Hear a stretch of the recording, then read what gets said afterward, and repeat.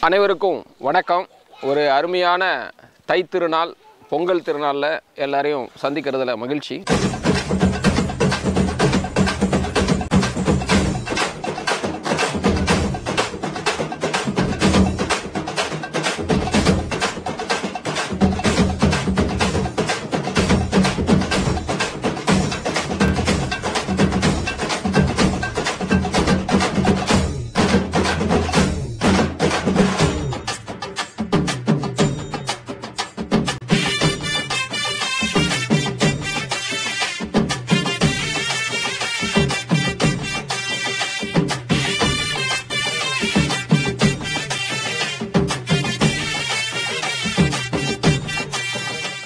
தமிழகத்தின் மாநில மரம் என்று பெருமைக்குரியது பனை. ஆனால் பனை தொடர்பான மக்களின் வழக்காறு என்பது பெரும்பாலும் எதிர்மறையாகவே இருந்து வந்திருக்கின்றது. பனை மரத்தில் பாதி வளர்ந்துருக்கான் ஆனால் ஒன்றுமே தெரியல. பனை மரத்துக்கு கீழ் நின்று பாலை குடித்தாலும் ஊரு தப்பாக தான் பேசும் என்று பனை மற்றும் பனை சார்ந்த விஷயங்கள் ஒரு நபரை அல்லது ஒரு விஷயத்தை இழிவு செய்யவே பயன்பட்டு வருகின்றது.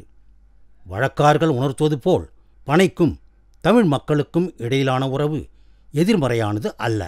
ஒரு சமூகத்தின் வரலாற்றை தெரிந்து கொள்வதற்கு அந்த சமூகத்தின் வழிபாட்டு முறைகள் உணவு பழக்கங்கள் உடை இலக்கியங்கள் என பலவற்றை ஆராய்ந்து தெரிந்து கொள்ளலாம். ஆண் பெண் என்று வகைப்படுத்தப்பட்டிருக்கும் பனையில் வேர் தூர்பகுதி நடுமரம் பத்தை மட்டை உச்சிப்பகுதி ஓலை சில்லாட்டை பாலை பனங்காய் பச்சை மட்டை சாறை ஓலை குருத்தோலை என பனிரெண்டு உறுப்புகள் உள்ளன. இந்த உறுப்புகள் ஒவ்வொன்றும் ஒவ்வொரு பயனை தரக்கூடியது. இந்த காரணங்களிலால் பனைக்கு கற்பக விருட்சம் என்று நமது முன்னோர்கள் பெயரிட்டுள்ளனர். அன்றைக்கு எழுதப்பட்ட சுவடிகளெல்லாம் பனை ஓலையால் ஆனவை என்பது நமக்கு எல்லோருக்கும் தெரியும். பதநீர் என்பது ஆரோக்கியமான பானம். பனை மரத்திலிருந்து பெறப்படும் இனிப்பான சாற்றை சுண்ணாம்பின் துணை கொண்டு புளிக்க விடாமல் செய்தால் அது பதநீர். பனைமரத்திலிருந்து பெறப்படும் நுங்கும் பனங்கிழங்கும் உணவாக பயன்படுகின்றன. ஓலை கூடைகள் முடையவும் கைவினைப் பொருட்கள் செய்யவும் கூரை வேயவும் பயன்படுகின்றது. மரம் வீடு கட்ட பயன்படுகிறது. பனஞ்சாறு பதநீராகவும் கற்கண்டாகவும் கருப்பட்டியாகவும் தமிழர் உணவு பழக்கத்தில் ஆரோக்கியமான இடத்தை பிடித்திருக்கிறது. உணவாக மருந்தாக உணவுப் பொருளாக பனை எப்படியெல்லாம் பயன்படுகின்றது என்பதை பார்த்தீர்களா? இதற்கு முன்பு தமிழில் பனை தொடர்பான கலாச்சார கூறுகள் பனை சார்ந்த சொற்கள் போன்றவற்றை பார்க்கும்பொழுது நம் கலாச்சாரத்துக்கும் மொழிக்கும் பனை எந்த அளவுக்கு பங்களிப்பு செய்திருக்கிறது என்பது நன்கு புலனாகிறது. பனங்காய் வண்டி ஓட்டாத பனை ஓலையில் காற்றாடி பார்க்காத இன்றைய தலைமுறை குழந்தைகள் பல உள்ளன. குருத்தோலை ஞாயிறு போன்ற நிகழ்வுகளின் பொழுது பனை ஓலையை சுமந்து செல்லும் வழக்கம் இன்றும் கடைபிடிக்கப்படுகிறது. இப்படியான சில நிகழ்வுகள் மூலமாகத்தான் தமிழர்களின் மனதில் பனைமரம் இடம் பெற்றிருக்கின்றது. இவ்வாறு தமிழ்ச் சமூகத்தின் உயிர் சாட்சியாக விளங்கும் பனைமரங்கள் செங்கல் சூளை எரிபொருட்களுக்காக வெட்டப்படுகின்றன. அதனால் அந்த மரத்தைச் சார்ந்திருக்கும் பனங்காடை பனை உழவாரன் போன்ற பறவைகளும் அழிவை சந்தித்து வருகின்றன. மரங்களின்றி மனிதர்கள் இல்லை என்பது மனிதர்களுக்கு புரியவில்லை. ஆனால் பறவைகளுக்கு புரியும். இவ்வாறு உழவனோடு மனித கலாச்சாரத்தோடு ஒன்றர கலந்துவிட்ட பனைமரத்தை நாம் மறக்க துவங்கிவிட்டோம். குறிப்பாக தற்போதைய சந்ததியினருக்கு பனைமரங்களை பார்த்தது கூட இல்லை என கூறலாம். இந்த சூழ்நிலையில் பனங்காடு அறக்கட்டளை என்ற அமைப்பு குழந்தைகளுக்கு பனைமரம் குறித்த அறிவை புகட்ட பனையோடு விளையாடு என்ற நிகழ்ச்சியை நடத்தியது. பனைமரத்தின் மாண்பினை குழந்தைகள் அறிய இந்த நிகழ்வு ஒரு வாய்ப்பாக அமைந்தது. இந்த நிகழ்வின் தொகுப்பை இப்பொழுது பார்ப்போம். நாம் இருக்கிற இந்த பகுதி பனங்காடு அப்படின்னு நாம் பேர் சூட்டியிருக்கிறோம்.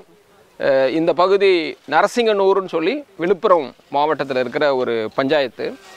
இங்கே நமது நண்பர்கள் திரு பாண்டியன் திருமதி பாண்டியன் மேகலா அவர்களுடைய தோட்டம். நம்ம தமிழ் சார்ந்த மரபுகளை பாதுகாக்கிறதுக்காக இதை பனங்காடு அறக்கட்டளை அப்படின்னு ஒன்று உருவாக்கி இந்த பகுதியில் உள்ள குழந்தைகளுக்கு எல்லா விதமான அறிவும் இங்கே பகிரப்படுது.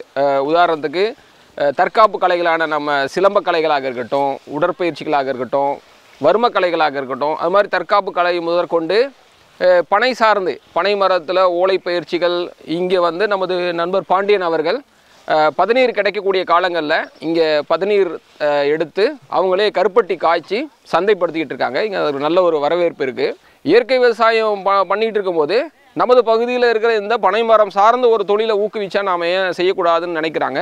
பொதுவாக பனைமரமும் நிறைய வெட்டப்படக்கூடிய காலமாக இருந்ததுனால அப்போ பனைமரத்தை வெறும் கல்லுக்காக மட்டும் பார்க்காமல் அதனுடைய வேரிலிருந்து தண்டிலிருந்து இலையிலிருந்து பூவிலிருந்து எல்லாமே நம்ம பயன்படுத்தக்கூடிய கிட்டத்தட்ட இரநூத்தம்பத்தாறு விதமான பயன்பாடுகள் இருக்கிறா தாள சாத்திரம் சொல்லி தமிழ் கூறும் நல்லுலகத்தில் ஒரு குறிப்பு இருக்குது அப்போ அவ்வளோ வாய்ப்புகள் இருக்கும்போது நாம் ஏன் அதை தொழிலாக செய்யக்கூடாதுன்னு சொல்லி அவரே பனைமரம் ஏற கற்றுக்கிட்டு அது ரொம்ப சிரமமான விஷயம். புதிதாக ஏறவங்களுக்கு பனைமரம் ஏற கற்றுக்கிட்டு பல்வேறு விதமான ஏற்ற தாழ்வுகளுக்கு அப்புறம் அவங்களே அதில் ஒரு ரொம்ப ரொம்ப கான்ஃபிடெண்ட்டாக பனை பதநீர் இறக்க கற்றுக்கிட்டு அதை கருப்பட்டியாகவும் தயார் பண்ணி இன்றைக்கி வணிகப்படுத்துவதோடு இல்லாமல் ஓலை பனை ஓலைகள் சார்ந்த பொருட்களும் சேர்த்து சென்னை போன்ற பெருநகரில் நம்ம இயற்கை கூடுதல் பண்ணுறோம் அங்கெல்லாமும் வந்து அதை சந்தைப்படுத்தி இங்கே ஒரு குழந்தைகள் பெரியவர்கள் அது ஒரு வாழ்வியலாக தொழிலாக மாற்றணுன்றதுக்காக இந்த பனங்காடு அறக்கட்டளையை நிறுவி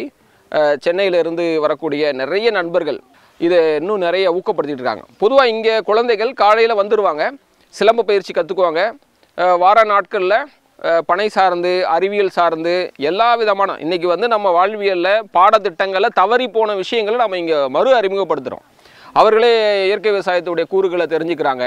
ஒரு நீரை எப்படி பார்க்கணும்? நீர் எவ்வளோ முக்கியமானது? நீரை எப்படி கையாள்வது? விவசாயத்துடைய அடிப்படை கூறுகள் என்ன? அதையெல்லாமும் மு முறைப்படுத்தி அவர்களுக்கு எல்லாமே பயிற்றுவிக்கப்படுது. அப்போ சென்னையில் இருந்து நிறைய நண்பர்கள் அறிவியல் சார்ந்த உபகரணங்களை கொண்டு வந்து அவங்க அறிவியல் பயிற்சிகள் நடத்துகிறோம் மாதிரி கிராமிய பல்கலைக்கழகம் போல இந்த பனங்காடு அறக்கட்டளை இந்த பகுதி நரசிங்கனூர் குழந்தைகளுக்காக ஆரம்பிக்கப்பட்டது. இந்த மாதிரி விழுப்புரம் மாவட்டம் முழுக்கவும் இது ஒரு கிராமியம் தொழில் குழந்தைகள் நலன் சார்ந்த ஒரு மரபை பாதுகாக்கக்கூடிய ஒரு தளமாக இதை பயன்படுத்திக்கிட்டு இருக்கோம். இன்று வந்து குழந்தைகள் கூடல் இந்த பொங்கல் சார்ந்து நம்ம மரபுகளை மீட்டெடுக்கணும். ஐயா நம்மாழ்வார் அவர்களுடைய ஏழாம் ஆண்டு நினைவேந்தல் கூட நாம் அதை நம்மாழ்வார்னா யார் குழந்தைகளுக்கு? அவர் ஏன் தன்னுடைய எழுபது ஆண்டுகளாகவும் இயற்கை விவசாயத்தை ஏன் அவர் வலியுறுத்தினார்? விதைகளே பேராயுதம் சொன்னார். விதைகள் இன்றைக்கி எவ்வளோ முக்கியன்ற விஷயங்கள்லாம் நம்ம குழந்தைகள்கிட்ட பகிர்ந்துக்கிறதுக்காகவும் இப்போது குழந்தைகள் கூடல் விவசாயம் நம்மாழ்வாரையா நினைவேந்தல் அப்படின்னு ஒரு மும்முறை விழாவாக நம்ம இந்த விழாவை முன்னெடுக்கிறோம். கூடுதல் சிறப்பாக உழவர் தினம் பொங்கல் திருநாள் அதையும் குழந்தைகளோடு நம்ம பகிர்ந்துக்கிறோம். நுங்கு கடை ஓரத்தில் நுங்கு ஒன்னாங்க நுங்கு ரெண்டாங்க நுங்கு மூணாங்க வாங்க சொன்ன சிங் சாக் சிங் சாக் சிங். சிங் அது நீரின் ஆதாரம் ஊரின் அடையாளம் உலகின் அவசியம் பனைதானுங்க நம்ம நீரின் ஆதாரம் ஊரின் அடையாளம் உலகின் அவசியம் பனைதானுங்க பதனி கடை ஓரத்துல பதனி ஒன்னாங்க பதனி ரெண்டாங்க பதனி மூணாங்க வாங்க சொன்ன சிங் சாக் சிங் சாக் சிங். சாக் சிங் அது உடல தெம்பாக்கும் மனச ஜில்லாக்கும் வருடத்தில் ஆறு மாசம் கிடைச்சிருங்க. அது உடல தெம்பாக்கும் மனச ஜில்லாக்கும் வருடத்தில் ஆறு மாசம் கிடைச்சிருங்க. பட்டி கடை ஓரத்துல கருப்பட்டி ஒன்னாங்க கருப்பட்டி ரெண்டாங்க கருப்பட்டி மூணாங்க. வாங்க சொன்னேன். சிங்சங் சிங்சங் சிங்சங் சிங். அது சீனி சக்கரை வேணான்னு சொல்லுங்க. கருப்பட்டி சாப்பிட நினைப்போமுங்க. அது சீனி சக்கரை வேணான்னு சொல்லுங்க. கருப்பட்டி சாப்பிட நினைப்போமுங்க. கிழங்கு கடை ஓரத்துல கல்லு ஒன்னாங்க. கல்லு ரெண்டாங்க. கல்லு மூணாங்க. வாங்க சொன்னேன் சிங்சங் சிங்சங் சிங்சங். நம்ம ஊரின் ஆதாரம் உலகின் அடையாளம் உலகின் அவசியம் பனைதானுங்க. நம்ம நீரின் ஆதாரம் ஊரின் அடையாளம் உலகின் அவசியம் பனைதானுங்க. நம்ம நீரின் ஆதாரம் ஊரின் அடையாளம் இயற்கை நண்பன் பனைதானுங்க. பனை என்பது ஒரு கற்பக விருட்சம். நம்மளுடைய தமிழகத்தினுடைய தேசிய மரமாகும். இந்த மரத்தை வந்து பண்ணாந்து இந்த பகுதியில் சிதம்பரம் கிள்ளை இந்த பகுதியில் தான் வந்து அதிகமாக நம்ம வந்து பார்க்குறோம். அதே மாதிரி வந்து ராமநாதபுரம் மாவட்டங்களில் பார்த்துட்ருக்கோம். இன்றைக்கி வந்து பண்ண வந்து பனையை வந்து பண்ண வந்து மதிப்பு இல்லாமல் நிறையா பேர் வந்து வெட்டி வீழ்த்திட்டு இருக்காங்க. பனையை பற்றி வந்து உண்மையை வந்து நல்லா வந்து அறிஞ்சாங்கன்னா பனையை வந்து வெட்டி வீழ்த்த மாட்டாங்க. பனையை வந்து தெய்வமாக கும்பிடுவாங்க. கண்டிப்பாக வந்து பனை என்பது பண்ணாது ஒரு கற்ப விருட்சமான ஒரு மரம். கேட்டதை கொடுக்கும். கேட்டதெல்லாம் கொடுக்கக்கூடிய வந்து மரம் தான் வந்து பனை மரம். நம்ம அத்தியாவசிய தேவை மனிதனுக்கு வந்து அத்தியாவசிய தேவை உண்ண உணவு உடுக்க உடை இருக்க இருப்பிடம். இந்த மூன்றையும் தரக்கூடிய ஒரு கற்பக விருட்சம் தான் பனைமரம். இது மட்டும் இல்லாமல் பனைமரம் நிலத்தடி நீரை மேன்மைப்படுத்தக்கூடிய ஒரு மரமாக இருக்கிறது. அதேபோல் வான்மலையை வந்து ஈர்க்கக்கூடிய வந்து ஒரு மரமாக இருக்குது எப்படி என்று பார்க்கலாங்களா? இப்போ பண்ணால் வந்து வான்மலை ஈர்க்க ஈர்ப்பதற்குண்டான காரணம் பண்ணால் வந்து பல்லுயிர் பெருக்கம் வந்து அதிகமாக இருக்கணும். ஒரு கால கட்டத்தில் பனை சூழ்ந்த ஒரு உயிர்வேலி நம் வேளாண் பெருமக்கள் விவசாய பெருமக்கள் பூமியின் எல்லை பகுதியில் அனைத்தும் பணம் வந்து எல்லைக்கோடாக பனை வந்து வைத்து அந்த பனைக்கு நடுவில் பணம் வந்து பல்விதமான வந்து மரங்கள் பெருமரங்கள் வந்து வைத்திருந்தாங்க. பனை மேலே காய்ந்த பனை. அது உயிர் இல்லாத பனையாக இருந்தாலும் கூட அங்கே மேலே வந்து பார்த்திங்கன்னா வந்து அதில் வந்து கிளி வந்து கூடு கட்டியிருக்கும். மரப்பொந்துகளை பண்ண வந்து மைனாக்கள் வந்து பொந்து வந்து வச்சுருக்கும். பலவிதமான பறவைகள் வந்து அதில் வந்து கூடு கட்டியிருக்கும். பனை பணம் வந்து காஞ்சாலும் வந்து வந்து வீழாது. தன்னை தானே வந்து சுருக்கித்தான் பணம் வந்து அழிமை வழிய அப்படியே வந்து சாய்ஞ்சிடாது பனை சாய்வதை நம்ம வந்து பார்க்க முடியாது. இப்போ சமீபத்தில் வந்து கஜா புயல். இந்த கஜா புயலில் வந்து புதுக்கோட்டை மாவட்டம் தஞ்சாவூர் இந்த பகுதியில் பணம் வந்து மிகப்பெரிய வந்து அழிவு. தென்னை மரங்கள் பலவிதமான மரங்கள் பணம் வந்து வேரோடு வந்து பிடுங்கி போட்டு மக்கள் வந்து மிக துயர்பட்டு பட்டிருக்காங்க. ஆனால் மிக மிக மிக குறைவாகத்தான்.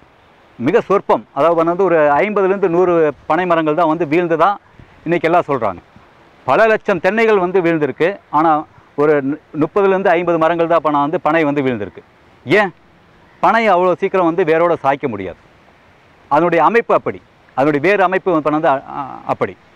பனை வந்து பணம் வந்து உயரம் ஐம்பது அடி என்றால் அதனுடைய வேர் வந்து பணம் வந்து குறைஞ்சபட்சம் நூறு அடி வந்து உள்ளே போயிருக்கும். இரண்டு மடங்கு வந்து பணம் வந்து வேர் வந்து உள்ளே போயிருக்கும். ஸோ அந்த வேர் வந்து பண்ண வந்து உள்ளே இருக்கக்கூடிய வேர் நுனியிலிருந்து பனை உச்சி வரைக்கும் ஒரே தண்டில் பண்ண வந்து நடு தண்டு வந்து மேலெழும்பி இருக்கும். அது வளையக்கூடிய வந்து ஆற்றல் வந்து பெற்றது. அந்த காலத்தில் பணம் வந்து போர் நடக்கும்போது இரண்டு பனையை வந்து கவனாக வைத்து கல்லெறிந்து வந்து எதிரியை வந்து விரட்டினது வந்து நம்ம வந்து பார்த்துருக்கோம் படிச்சிருக்கோம் கேட்டிருக்கோம். ஸோ அது மாதிரி பணம் வந்து வளைந்து கொடுக்கக்கூடிய தன்மை வந்து பணம் வந்து பனையை வந்து மிக சிறப்பாக வந்து செயல்படும். ஒடியாது.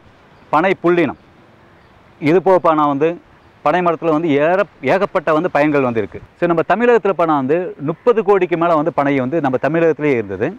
இன்றைக்கி பணம் வந்து அது ஐந்து கோடியாக வந்து சுருங்கி அதை மீட்டெடுக்கும் பணியில் வந்து நிறையா வந்து தன்னார்வலர்கள் இருக்காங்க. ஸோ இந்த பனையை பற்றி நம்ம வந்து பார்க்கும்போது இன்னும் நிறையா வந்து நம்ம சொல்லிட்டு இருக்கலாம்.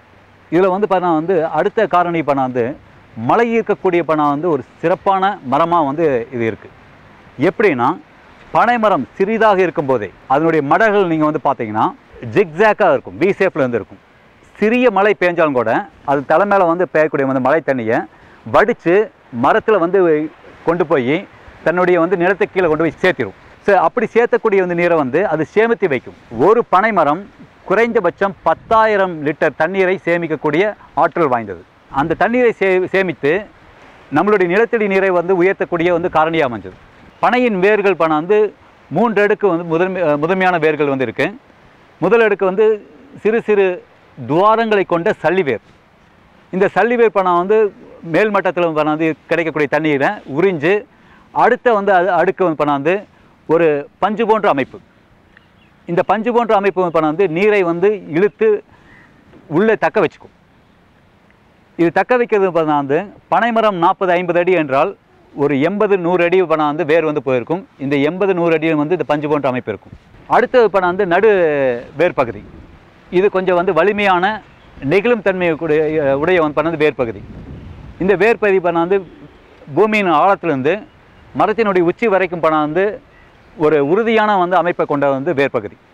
அதனால தான் வந்து அந்த பனைமரம் வந்து சாய்வதில்லை இதை பற்றி இன்னும் ஆய்வு வந்து நீங்கள் வந்து செஞ்சு பாருங்கள் நிறைய ஆய்வாளர்கள் வந்து பண்ணிகிட்ருக்காங்க தமிழகம் முழுவதும் அல்ல அல்லாமல் உலகம் எங்கும் பணம் வந்து இதை பற்றி வந்து ஆய்வுகள் நடந்துகிட்ருக்குது. இருக்குது நம் தமிழர்கள் மட்டும்தான் பணம் வந்து இந்த பனை இழந்து வாடி நிற்கிறோம்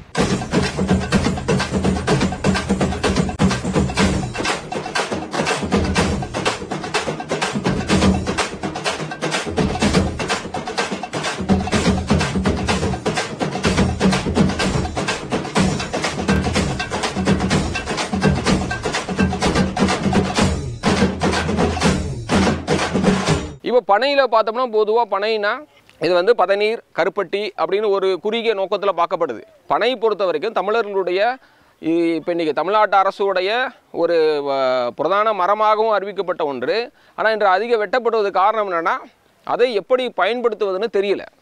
அப்போ அந்த வ- மறுபடியும் நாம் அதை ஒரு மறு அறிமுகப்படுத்த வேண்டிய அவசியத்தில் இருக்கும். ஓலைகளில் இன்றைக்கி பலவிதமான பொருட்கள் செய்கிறோம் டிஃபன் பாக்ஸிலிருந்து இன்றைக்கி வந்து ரெண்டு அடுக்கு பனை நெய்யக்கூடிய நம்ம சிறந்த கைவினைஞர்கள் இருக்காங்க. அவங்க ரெண்டு அடுக்கு பனை நினைச்சிட்டா நேரடியாகவே அதில் உணவு போட்டு டிஃபன் பாக்ஸை பயன்படுத்துகிற மாதிரியும் பயன்படுத்தலாம்.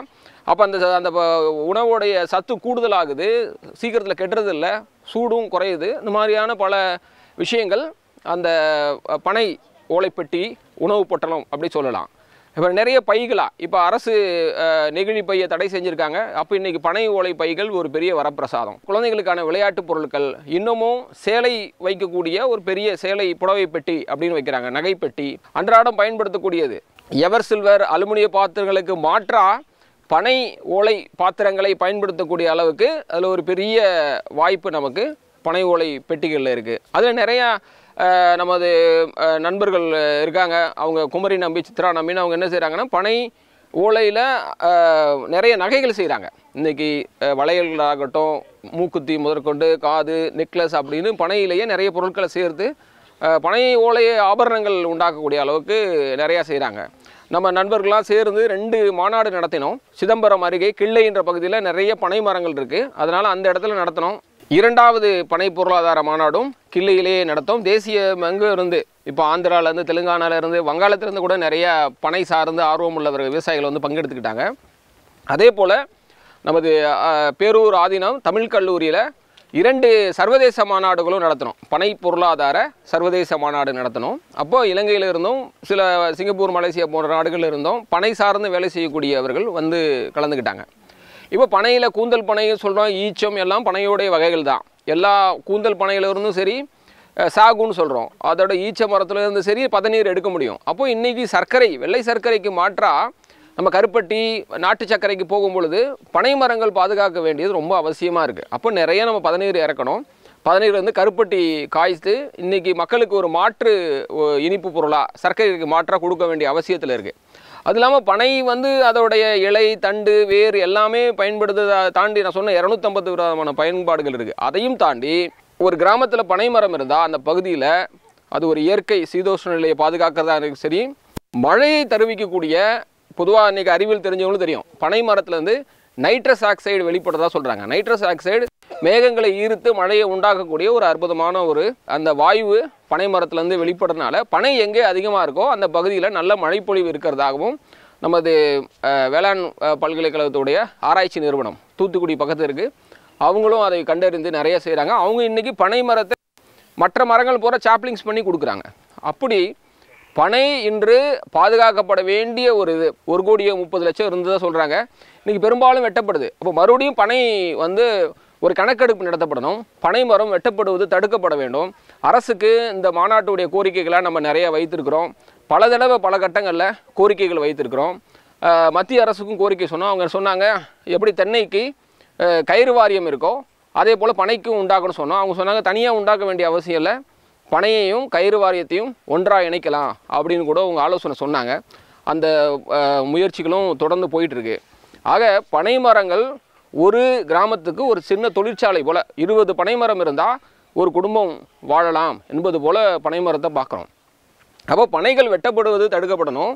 பனைகள் இன்னும் அதிகமாக இன்றைக்கி தமிழ்நாடு எங்கும் அந்த இயற்கையை உணர்ந்த இ- இளைஞர்கள் கோடிக்கணக்கில் இன்றைக்கி பனையை நட்டுக்கிட்டு இருக்காங்க. அப்போது இது இந்த விழிப்புணர்வு இது அடுத்த தலைமுறைக்கு போகணும். குழந்தைகளுக்கு போகணும். நமது மண் மரபு இந்த தமிழ் கூறுகும் நல்லுலகம் சொன்ன அறம் சார்ந்த வாழ்வியலை அவர்களுக்கு புகுத்துவது. ஏன் நெகிழியை தவிர்க்கணும்? நாம் ஏன் புட்டி நீர் ஏன் குடிக்கக்கூடாது? ஏன்னா அதில் அவ்வளோ கெமிக்கல் இருக்குது ஏன் வெள்ளை சர்க்கரையை தவிர்க்கணும்? முதற்கொண்டு உணவு முதற்கொண்டு மருந்துகளையும் அதிகமாக நம்ம எடுத்துக்கக்கூடாது? நம்முடைய சித்த மரபில் நம்முடைய அன்றாட வாழ்க்கையில் உள்ளதையும் நம்ம எடுத்துக்கலாம். அது மாதிரியான விஷயங்கள்லேருந்து அடுத்து இன்னைக்கு வந்துட்டு இருக்க இன்றைக்கி புவி வெப்பமயமாதல்னு சொல்லி ஒரு பெரிய பிரச்சனை ஐநா முதற்கொண்டு ஒப்புக்கொள்ளுது. புவி வெப்பமயம்லாம் தடுத்தாகணும். அப்படின்னும் போது அந்த தகவலை குழந்தைகளுக்கு சொல்லணும். அப்போ மின்சாரங்களை குறைவாக பயன்படுத்தணும் பெட்ரோலியம் வாகனங்களை அதிகமாக பயன்படுத்துறதை குறைக்கணும். அப்போது இந்த மாதிரியான விஷயங்களையும் நாம் அடுத்த தலைமுறைக்கு பரப்ப வேண்டிய அவசியத்தில் இருக்கிறதுனால தான் இது மாதிரி நிறைய குழந்தைகள் கூடல் தமிழகமெங்கும் நடந்துக்கிட்டு இருக்குது இப்போ கடந்த ஜனவரி ஒன்று கூட நம்ம வானகத்தில் நம்மாழ்வாரையோட ஏழாம் ஆண்டு நினைவேந்தல் நடந்தது. ஒரு ஆயிரக்கணக்கான இளைஞர்கள் ஆண்டுதோறும் கூடி அவருடைய கருத்துக்களை மக்களுக்கு கொண்டு போகிறத ஒரு தளமாக வச்சுருக்கிறாங்க. இன்றைக்கும் நம்ம குழந்தைகள்கிட்ட ஐயா பற்றின விஷயங்களையும் பகிர்ந்துக்கிட்டோம்.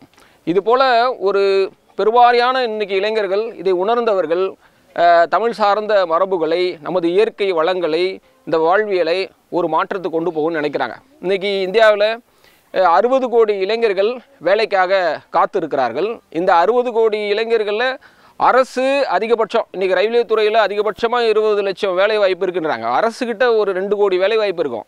இப்போ தனியார் அமைப்புகள் அது ஐடியாக இருக்கட்டும் பல்வேறுபட்ட துறைகள்லையும் ஒரு கூடுதலாக ஒரு ரெண்டு கோடி தர முடியும். ஆக அரசும் தனியார் அமைப்புகளும் ஒரு ஐந்து கோடி தான் வேலை தர முடியும். அப்போ மிச்சம் இருக்கிற ஐம்பத்தஞ்சு கோடி இளைஞர்கள் என்ன பண்ணுவாங்க? இந்த மண் இந்தியா வேளாண்மை சார்ந்த ஒரு நாடு. இப்போது வேளாண்மை சார்ந்தும் இயற்கை சார்ந்த தொழில் தான் நிரந்தரமானது.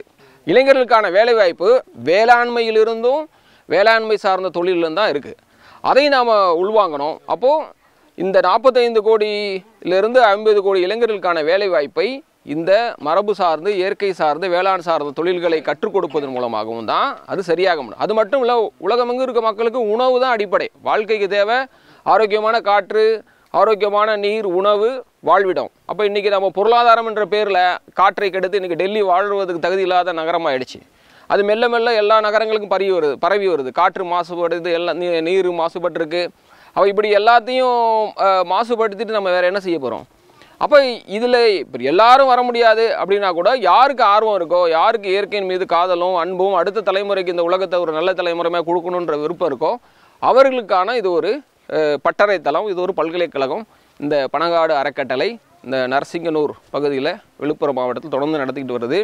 இதற்கு பலரும் பல இளைஞர்களும் உழைச்சிக்கிட்டு இருக்காங்க. ஒவ்வொரு நாளும் பல தளங்களில் வேலை செய்கிறாங்க இது சாதாரணமான பணி இல்லை.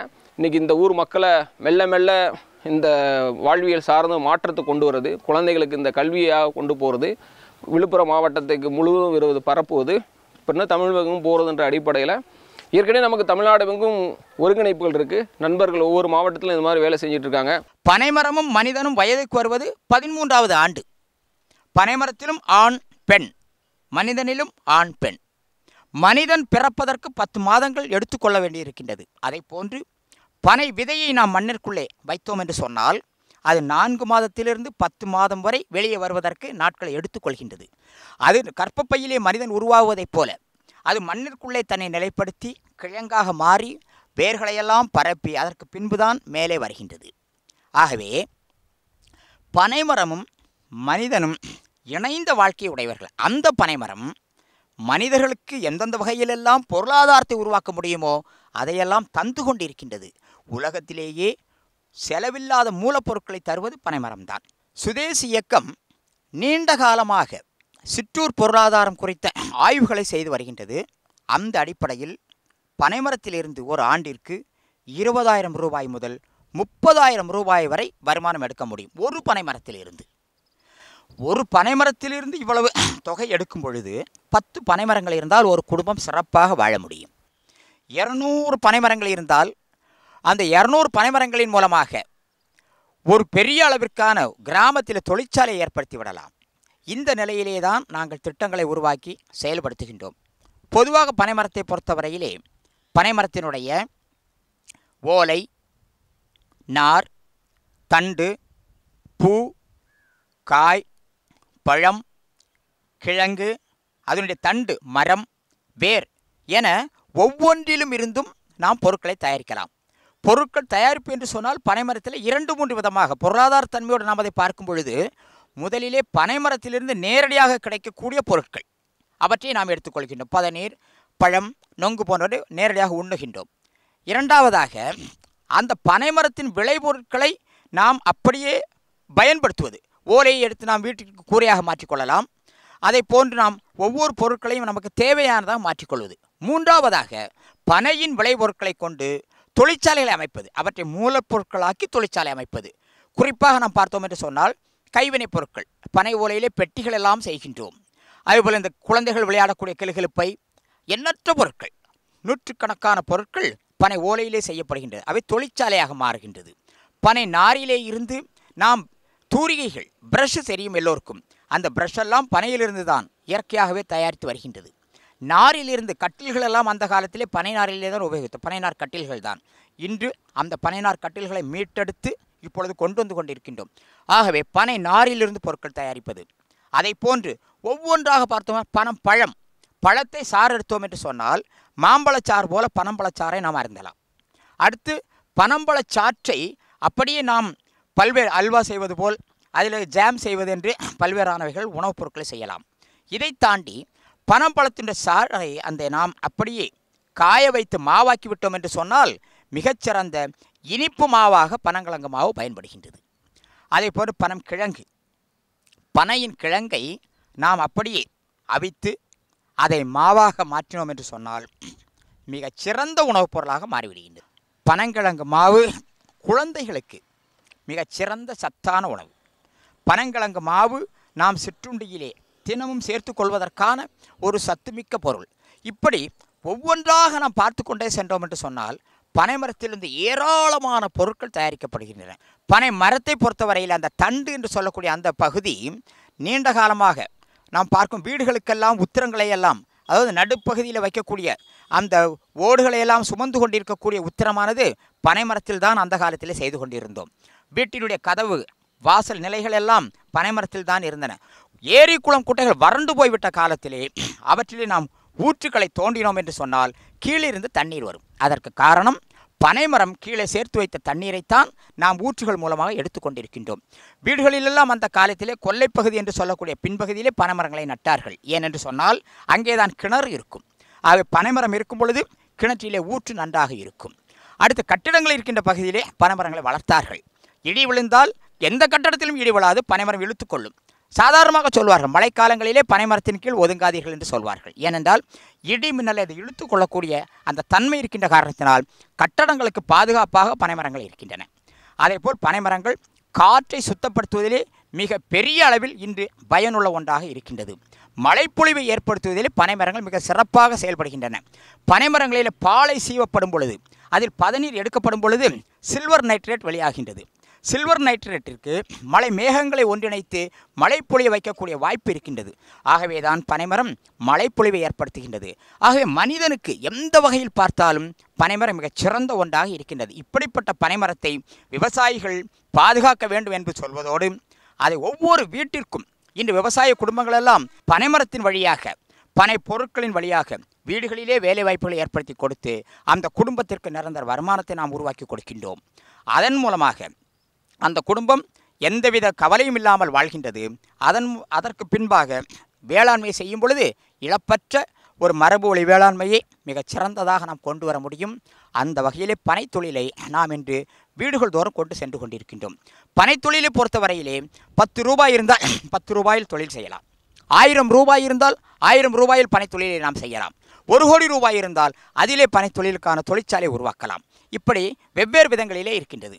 அதை நாம் இப்பொழுது ஏராளமான பயிற்சிகளை கொடுத்து வீடுகளில் இருப்பவர்கள் அவர்கள் வீட்டிலேயே பொருட்களை கொடுக்கும் பொழுது அங்கிருந்து பொருட்களை செய்து வெளியே கொடுத்து விட்டார்கள் என்று சொன்னால் பணம் வீடு போய் சேர்ந்துவிடும் ஆகவே பெண்களுக்கு வீட்டிலே வேலை செய்து கொண்டிருக்கக்கூடிய பெண்களுக்கு கூட ஓய்வு நேர வேலையாக பனைத்தொழிலை நாம் கொண்டு வர முடியும்.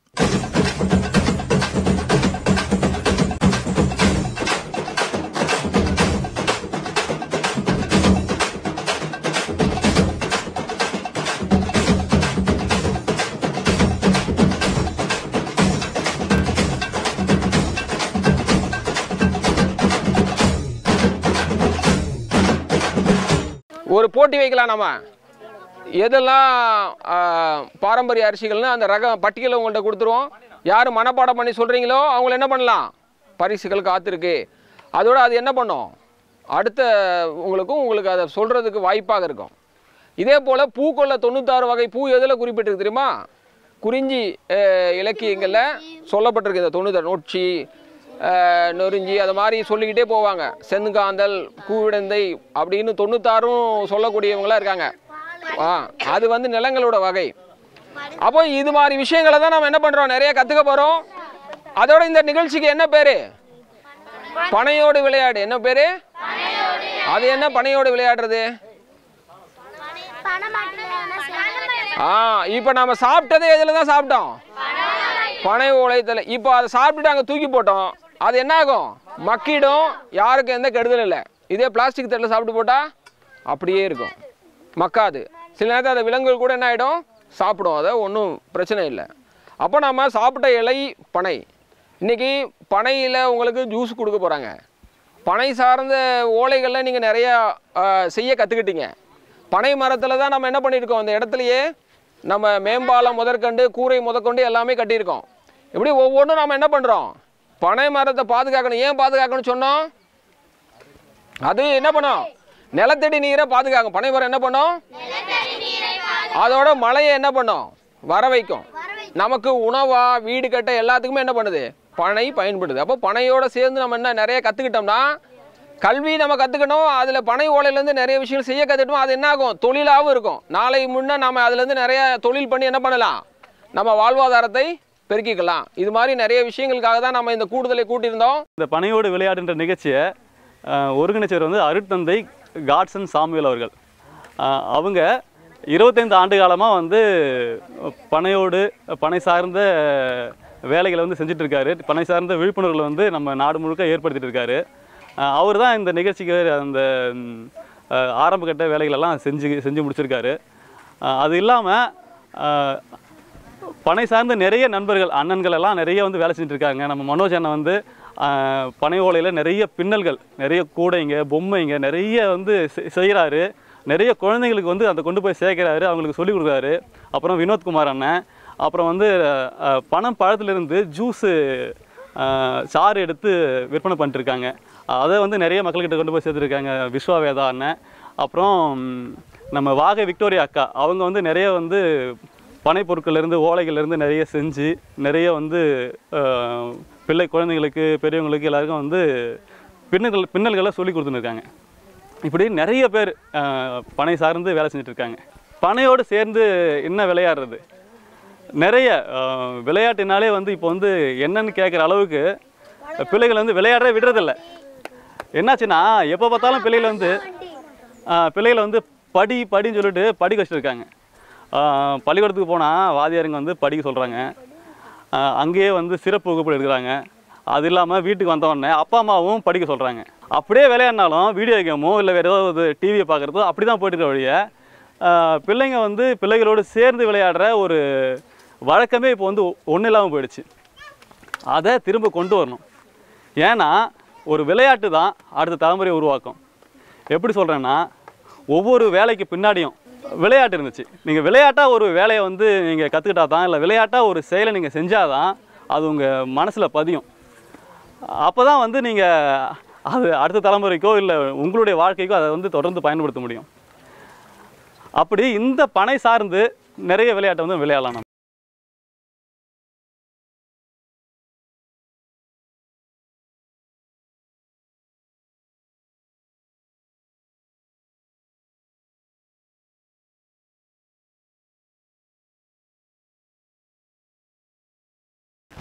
அது மேலே முளைஞ்சி வர்றதுக்கு நாலு மாதம் ஆகும் சரியா? அப்போ தான் அது வந்து ஒரு ஓலை விட்டு வெளியே வரும். சரியா? பனைமரத்தோட பயன்கள் வந்து எத்தனை வருஷம் கழிச்சு கிடைக்கும் நமக்கு? அஞ்சு வருஷத்துலேயே ஆரம்பிச்சிடும் எல்லாம் சொல்லுவாங்க பனைமரத்துலேருந்து பதனி கிடைக்கிற போது இல்லை அதுலேருந்து நுங்கு வரும்போது இல்லை அதுலேருந்து பழம் வரும்போது தான் பயன் சொல்லுவாங்க. ஆனால் ஒரு அஞ்சு வருஷத்தில் ஏதோ இந்த மாதிரி கன்று வரும்போது நம்ம அதை வந்து பயன்படுத்த ஆரம்பிச்சிடலாம். எப்படின்னு சொன்னால் இந்த மரத்தில் இந்த மாதிரி சின்ன பனையிலிருந்து தான் நம்ம வந்து விசிறி செய்ய முடியும். சரியா? இந்த மாதிரி இந்த ஓலையிலேருந்து நம்ம வந்து பொம்மைகள் செய்ய முடியும். இன்னும் கொஞ்சம் பெருசாகுது இல்லையா? அதோ அந்த அந்த ப அந்த பருவம். அந்த பருவ மரத்துலேருந்து நம்ம நார் எடுக்கலாம் நம்ம. மட்டைகள் எடுக்கலாம். வேலி அடைக்கிறதுக்கு எடுக்கலாம். அந்த மாதிரி ப பனைமரம் வந்து வளரத்துலேருந்தே நமக்கு வந்து பலன் கொடுத்துட்டே இருக்கும் நமக்கு. அது வளர்ந்து பதனியோ இல்லை நுங்கோ இல்லை கல்லோ கொடுத்தா தான் பயன் இல்லை. அதுக்கு முன்னாடி நிறைய பயன்களை கொடுத்துட்டே இருக்கும் அது. பனைமரத்தில் பனை மரத்தில் ரெண்டு வகையாக இருக்குது. நிறைய பனைகள் இருக்குது. அதில் வந்து இப்போது இங்கே இருக்கிற பனை மரங்களில் நமக்கு எப்படி வந்து ஆண் பெண் இருக்கிறோமோ அதே மாதிரி பனைமரங்கள்லேயும் பனை மரங்கள்லேயும் வந்து ஆண் பனைமரம் பெண் பனைமரம் இருக்குது. இது எத்தனை பேருக்கு தெரியும் அது? சிறப்பு. எல்லாருக்குமே தெரிஞ்சிருக்குது. எது ஆண் ப- பனைமரம் எது பெண் பனைமரம்? பார்த்து சொல்லுவீங்களா?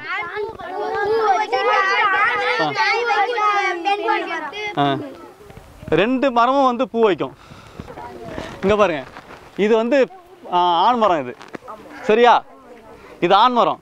இந்த ஆண் மரத்தில் பூ மட்டும் வைக்கும். அது மேலே இருக்க பாருங்க. காஞ்சி இருக்கு பார்த்தீங்களா அதுதான் வந்து ஆண் பூ. அது நாங்கள் வந்து பூத்தக்கான்னு சொல்லுவோம். காய் மாதிரி இருக்கிறதால அது பூத்து காய் மாதிரி இருக்கும் அது. அதனால் பூத்தக்கான்னுவோம். இந்த ஆண் மரத்தில் எந்தெந்த மர பயன்களை வந்து நம்ம வந்து எடுக்கலாம் நம்ம? ஆ? ஆ இதுலேருந்து ஓலைகள் எடுத்துக்கலாம். நம்ம பொம்மை செய்கிறதுக்கு வீட்டு பொருட்கள் செய்கிறதுக்கு எல்லாத்துக்கும் வந்து நம்ம ஓலைகள் எடுத்துக்கலாம். மட்டிலேருந்து நார் எடுக்கலாம்.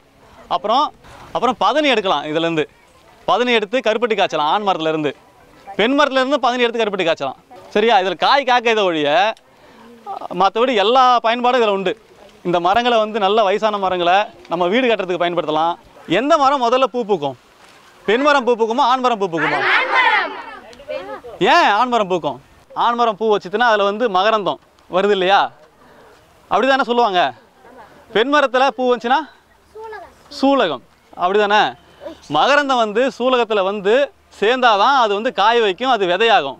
சரியா? அப்போ ஒருவேளை பெண்மரம் முதல்ல பூத்துச்சுன்னா ஆண்மரமே பூக்கலைன்னா என்ன ஆகும் அதுக்கான மகரந்தம் கிடைக்காம போயிடும். அப்போ விதை உருவாமல் போயிடும். அப்போ அந்த இனமே அழிஞ்சு போயிடும். அதனால தான் எப்போவுமே எல்லா தாவரத்திலும் ஆண் மரம் தான் முதல்ல பூக்கும். அப்புறம் தான் பெண் மரம் பூக்கும். இங்கே நம்ம ஊரில் ஆண் மரம் தை மாதத்தில் பூக்க ஆரம்பிக்கும். பெண் மரம் மாசி மாதத்துக்கு அப்புறம் பூக்க ஆரம்பிக்கும். அப்போ தான் அது சரியாக இருக்கும். மகரந்த சேர்க்கை நடக்கிறதுக்கு சரியாக இருக்கும். ஒரு மரத்தில் இருந்து கிட்டத்தட்ட ஒரு ஆயிரம் காய்களுக்கு மேலே காய்க்கும். இப்போ இந்த பனைமரம்லாம் வந்து யாழ்ப்பாண பனைமரம் இது. யாழ்ப்பாணம்ன்றது எங்கே இருக்குது தெரியுமா? இலங்கையில் இருக்குது இந்த மரத்தோட அடியை பாருங்கள் கிட்டத்தட்ட மூணு அடி விட்டம் இருக்கும் அது அவ்வளோ பெரிய மரம் அது மட்டைகளும் பெருசாக இருக்கும். இதில் வர காய்களும் பெருசாக இருக்கும் இந்த மரத்தில் இருந்து. பதனியும் வந்து இதில் வந்து ஒரு நாளைக்கு இருபது லிட்டர் பதனி இறக்கலாம். ஒரு நாளைக்கு. இப்போது நம்ம வந்து பனைமரம் சார்ந்து நிறைய உயிரிலெல்லாம் வாழணும். சொல்ல முடியல சொன்னோம் இல்லையா அப்போ பனைமரம் சார்ந்து என்னென்ன உயிரிலெல்லாம் வாழுது? உயிரிலெல்லாம் தாவரமெல்லாம் உயிர் தானே தாவரமெல்லாம் உயிர் தானே செடிகள்லாம் உயிர் தானே அப்போ நீங்கள் பாருங்க. பனைமரத்தில் என்னென்ன செடியெல்லாம் இருக்குது பாருங்க. ஆ, நிறைய புல் இருக்குது. நிறைய தெரிஞ்ச தாவரங்களை விட தெரியாத தாவரங்களும் நிறைய இருக்குது இங்கே. அப்படி தானே ஆ? இங்கே புல் நிறைய இருக்குது. இங்கே பாருங்க. இது வந்து உத்தாமணி. ஆ அது ஒரு கொடி அது. மேலே ஏறிட்டு இருக்குதா? அப்புறம் அங்கே பாருங்க முசு முசுக்கு இருக்குதா? பக்கத்தில் வேப்ப மரம் இருக்குதா? ஆ புல் இருக்குதா? இதோ காணாவாடை இருக்குதா? இந்த மாதிரி நிறைய மூலிகைகளும் நிறைய செடிகளும் வந்து இது பக்கத்தில் வந்து வாழ்ந்துருக்குது. ஆ? இப்போ நாங்கள் என்ன பண்ணிருக்கோங்க? இங்கே பாருங்கள் பாவக்காய் வந்து இங்கே ஏற்றி விட்ருக்கோம் மேலே. இந்த மாதிரி காய்கறியும் நம்ம மேலே ஏற்றி விட்டு நம்ம காய்கறியும் அறுவடை பண்ணலாம். அது இல்லாமல் பனைமரங்களில் நிறைய விலங்குங்க நிறைய பறவைங்க வந்து வாழும். கிளி அப்படிதானே? ஆ கிளி. என்னென்ன என்னென்ன சொல்லுங்க பார்க்கலாம். கிளி கிளி சிட்டுக்குருவி ஆ. ஆ. ஆ. மயில் போடா பணம் வானா சிட்டுக்குருவின்னா தூக்குனாங்குருவி கூட நிறைய கட்டும் அதில். ஆ. ஆ. ஆ கழுகும் இருக்கும். காக்கா இருக்கும். எலி. ஆமா. இங்க தேவாங்கன்னு ஒரு விலங்கு இருந்துச்சு யாரெல்லாம் பார்த்துருக்கீங்க யாராருக்கெல்லாம் தெரியும் தேவாங்கன்னா? ஆ? சின்னதா குரங்கு மாதிரி இருக்கும். சின்னதா இருக்கும். கையளவு தான் இருக்கும். ஆமா அதெல்லாம் பனைமரத்தில் இருக்கும். அப்புறம் மர நாயின் ஒரு இனம். அதுவும் பனைமரத்தில் இருக்கும். இப்போ இந்த மரத்தில் பாருங்க. மத்த ஓலைலாம் எப்படி இருக்கு? ஓலை எப்படி இருக்கு பாருங்களேன். இல்ல இந்த ஓலை எப்படி இருக்கு பாருங்க விட்டுருக்காங்க பாருங்க இந்த ஓலையெல்லாம். ஏன் அப்படி விட்டுருக்காங்க தெரியுமா? இந்த ஓலையில வந்து நாங்க ஓலை பின்னுறதுக்காகவும் பொம்மை செய்யறதுக்காகவும் வெட்டியிருக்கிறோம். மட்டையோட வெட்டி அதை வீணாக்காம நமக்கு தேவையான ஓலையை மட்டும் நம்ம வெட்டுறோம் நம்ம. அங்க பாருங்க. இந்த மாதிரி வெட்டும்போது அந்த பனைமரத்துக்கு எந்த ஒரு பாதிப்பும் ஏற்படாது. அது ஒளி சேர்க்கை செய்கிறதுக்கோ இல்லை அது சுவாசிக்கிறதுக்கோ எந்த ஒரு தடையும் இருக்காது. நமக்கு தேவையானதை மட்டும் கொஞ்சமாக வெட்டி எடுத்துக்கணும் நம்ம. நுங்கு வைக்கிறதுக்கோ இல்லை பாலை விடுறதுக்கோ ஒரு பதினஞ்சுலேருந்து இருபது வருஷம் ஆகும். இங்கெல்லாம் கொஞ்சம் நான் மண்ணெல்லாம் கொஞ்சம் நல்ல மண்ணுங்க அதனால் ஒரு இருபது பதினஞ்சுலேருந்து இருபது வருஷத்துக்குள்ளே அது உற்பத்தி பண்ண ஆரம்பிச்சிடும் அது இப்போ இங்கே பாருங்கள் அந்த மரம் பெருசாக இருக்குதா? இந்த மரம் சின்னதாக இருக்குதா? இது ஏன் ஒளியாக இருக்குது இது? இந்த அளவுக்கு நெருக்கமாக நடுறதால எது வந்து போட்டி போட்டுட்டு வளருதோ அது வந்து நல்லா பெருசாக இருக்குது அது. போட்டி போட முடியாதது ரொம்ப ஒல்லியாயிடுது அது இங்கே. ஒரு பத்து அடி இடைவெளி வச்சோம்னா நல்லாயிருக்கும் பனைமரங்கள். அஞ்சு அடி இடையில வச்சோம்னா இதெல்லாம் அஞ்சு அடி இடைவெளி இது. இப்படி வச்சோம்னா வந்து இந்த அளவுக்கு தான் நல்லா வளர்றது வந்துடும். மற்றதெல்லாம் வந்து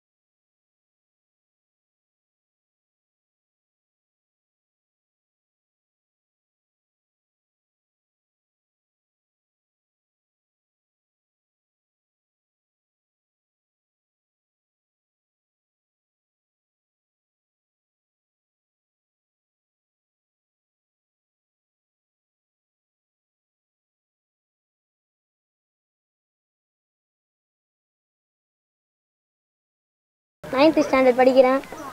எந்த பள்ளியில்? அரசு மேல்நிலைப் பள்ளி தென்பேர். எப்படி கற்றுக்குனீங்க இதை? நான் தனியாகவே ஏறி கற்றுக்கினேன் எனக்கு யாரும் கற்றுக் கொடுக்கல. எங்கள் அப்பா பனை ஏறுவார் நான் அவர் கூட போனால் அதை பார்த்து கற்றுக்கினேன் நாம் வந்து ஏன் இந்த பனைமரம் அப்படிங்கிறத பற்றியெல்லாம் சிந்திச்சு பார்க்கும்போது இப்போ நாம் கம்பராமாயணம் திருக்குறள் அதை பற்றி இதை பற்றியெல்லாம் பேசும்போது எல்லாமே நம்மளுக்கு எங்கேருந்து கிடச்சிருக்கு அப்படின்னா பனையோலை சுவடிகள்லேருந்து தான் கிடச்சிருக்குது. அப்படிங்கிற போது பனை மரத்துக்கு ஒரு முக்கியத்துவமான இது இருக்குது அப்படின்ட்டு நான் வந்து பனை மரத்தை ரொம்ப அதிகமாக பரப்பணும் அப்படின்ட்டு ஏற்பாடு பண்ணேன்.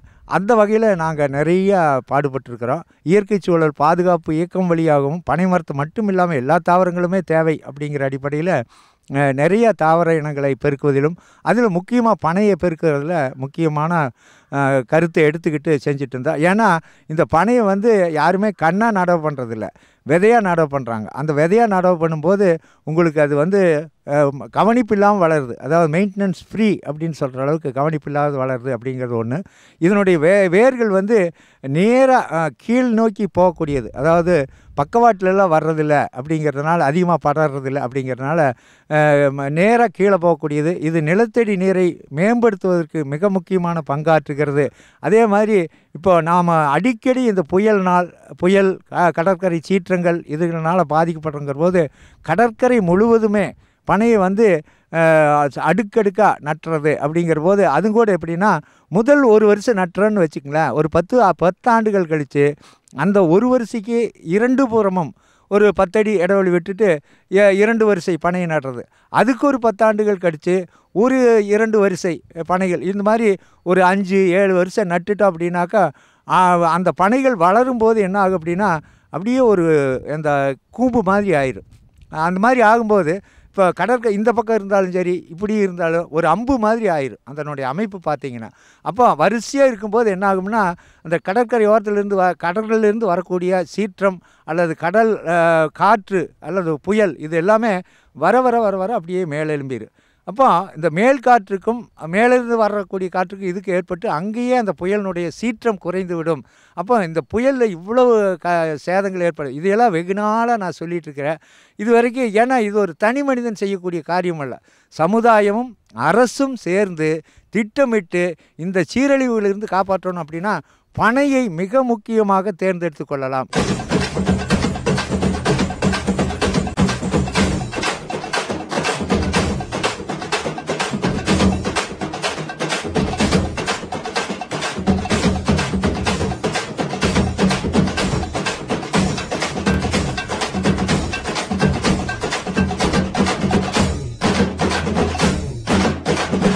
தந்தன் நன்னாதீனம் தந்தன் நன்னாதீனம் தன்னன் நன்னாதீனம் தன்னானே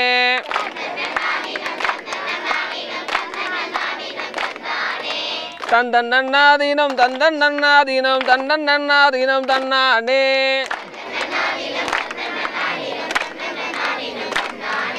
செந்தில் வடி வேலவாரே சிந்து கவி பாட.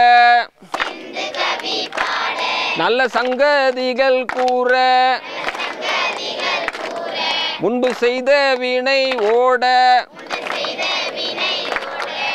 தந்த நன்னாதீனம் தந்தன் நன்னாதீனம் தந்தன் நன்னாதீனம் தன்னானே.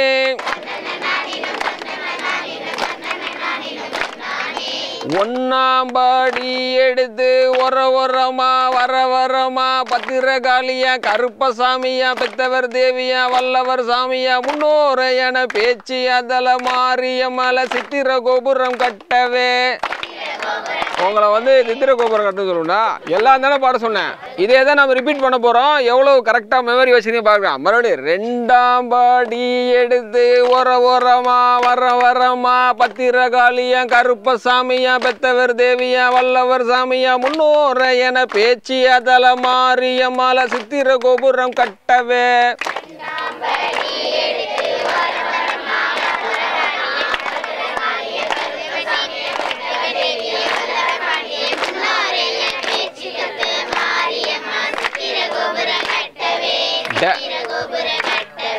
டேஷ் டேஷு கோபுரம் கட்டவே.